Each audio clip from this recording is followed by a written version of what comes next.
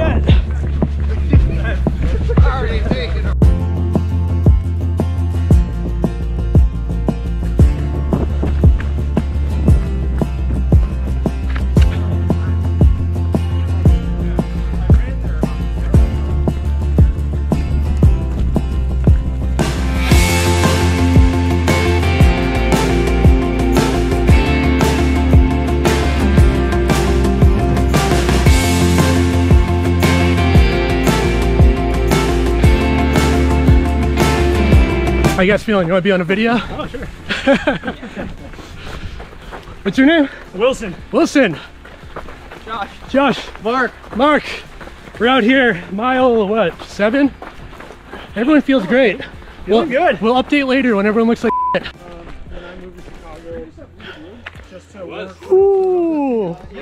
Sure is pretty up here though. Fall in New England.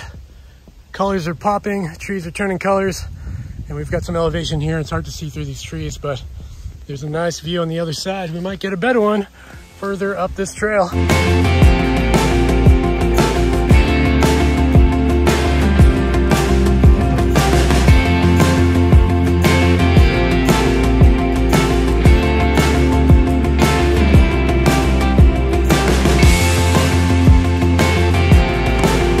Well, that was exciting. Interesting.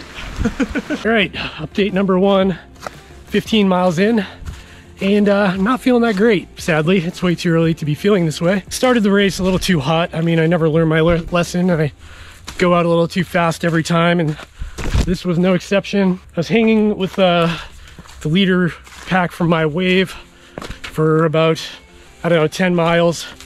When I started to feel like, yeah, it's way too fast, so kind of dropped from hanging with them. I'm really trying to focus on running my own race and not letting the numbers or what position I'm in get in the way because it's not why I'm here. Right now, I'm not feeling too hot. My calves kind of cramping up. There's a big climb back there that really sent my uh, calves into like spasms. They're using something called body armor at the aid stations, which I haven't tried before. It kind of tastes like Gatorade, and I'm so used to using Tailwind so I think I'm gonna convert when I get to my drop bag and just pick up a bunch of tailwind that I left there and uh, just start doing my own hydration mix. See if that turns things around. Dialing back the pace to walking basically. See if I can pull this around.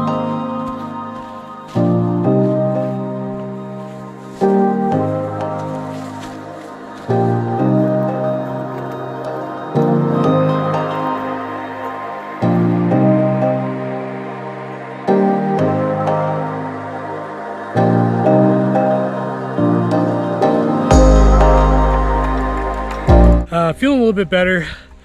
I swapped over to Tailwind at the last aid station and I feel a lot better with that choice. Threw down a peanut butter and jelly, uh, half a can of gin ginger ale. Something funny happened. I was trying to crawl over a log across the trail, like straddling it, and uh, both my legs seized up and started cramping and I was stuck straddling a log for like five minutes until it cooled down and I was able to get my feet off. Quick update on where I am. We're in the hardest part of this trail. See, this just goes straight up. This is called Crow Hill. It's a series of ledges, all granite and moss covered and slippery. Uh, it's tough. So after this, gets a little bit easier. Uh, and then we have to climb up Wachusett Mountain, which is the highest point on this trail. Then after that, it cools down a little bit and we have kind of a downhill section. Pulling it together, we're not quitting this race. I'm saying that now. Okay, see you soon.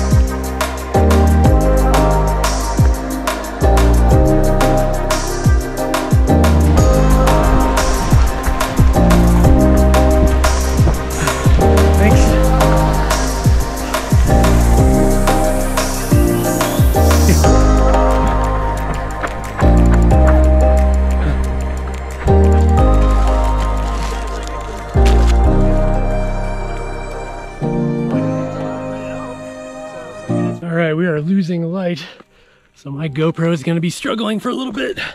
And soon I'm gonna have to pop on my headlamp, but not quite yet. Coming down the high point now. This is Mount Wachusett.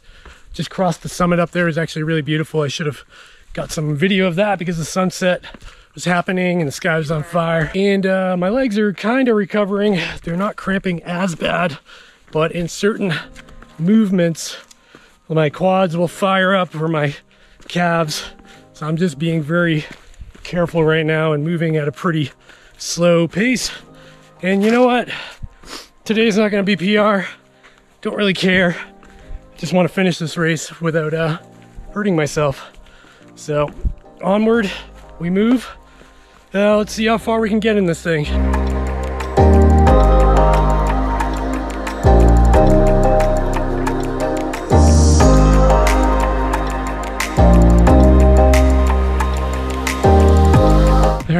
You probably can't see me right now. I'm wearing a headlamp.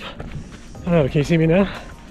Uh, we are at mile 30 and uh, I'm feeling much better. Feeling pretty good actually. So I'm running again, which is great. Uh, we'll see where the night takes us.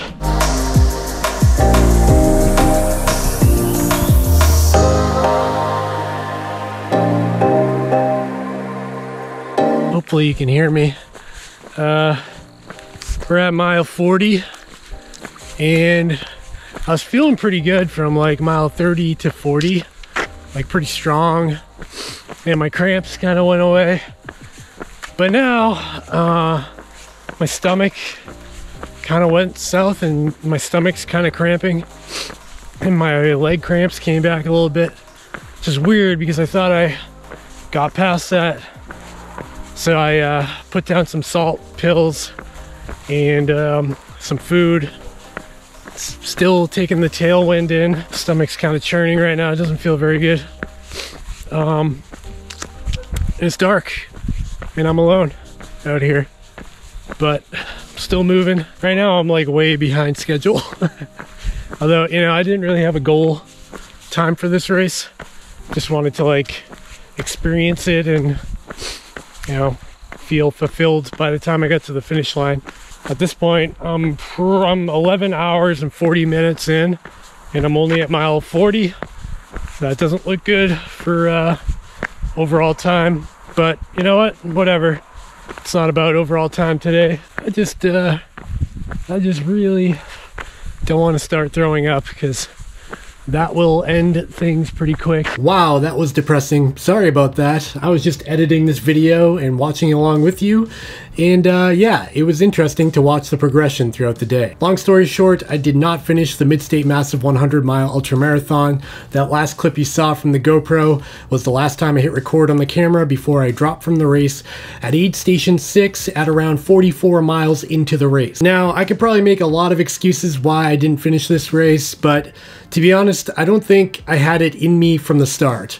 Uh, I was undertrained, we've got a new baby in the house, and uh, things have just been so unstable lately that uh, the race and even training has been taking the back seat in favor of other priorities because life gets in the way. And even when I got there and I toed the starting line, part of me, part of my brain knew that there was a chance I wasn't going to make it to the end because I feel like the hunger just wasn't there this year. It's just like when you've got all these other important things going on, something like a silly race feels a little bit selfish to focus on.